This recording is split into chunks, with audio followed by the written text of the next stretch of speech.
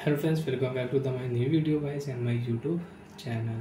In this video guys i am going to show you guys iQOO mobile guys camera setting and today video title is guys how to set camera timer in iQOO mobile. Friends you want to set timer you want to use camera timer setting in your android phone in your iQOO mobile. So friends now let's see how to use camera timer setting.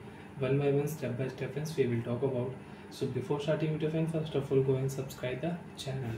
Open your phone camera friends after turn on camera friends you can see this type interface in your iQOO mobile. So friends if you click here so you can take photo without timer. And you want to take photo with timer you want to want camera timer you want to set camera timer. So friends click here setting option. And friends you can check here camera timer setting 3 second 5 second 10 second you can use. So friends if you click here 10 second so friends you can take photo. After 10 second automatically photo will click. 10 9 8 seven six five four three two one. Photo will click automatic. And friends if you click here camera settings so friends you can on your camera sound you can on camera watermark you can use it. So friends now we will on camera sound and friends now we will use 5 second camera timer. You want to use 5 second camera timer? So you can on 5 second camera timer. Friends click here. 5 camera sound friends you can use.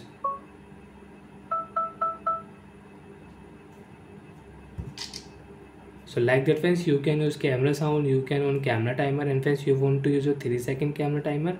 So friends you can see after 3 second photo will click automatic and now always on we will on flash.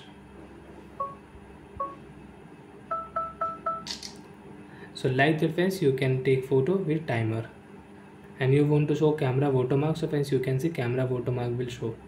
If you click here camera watermark settings so watermark will show.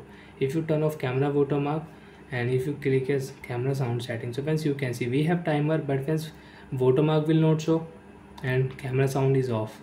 You can take photo without sound without watermark. So bye friends. Thanks for watching the video. Friends do you have any problem in your iQOO while camera settings so friends you can ask me in comment section. I will check. I will help you. Bye friends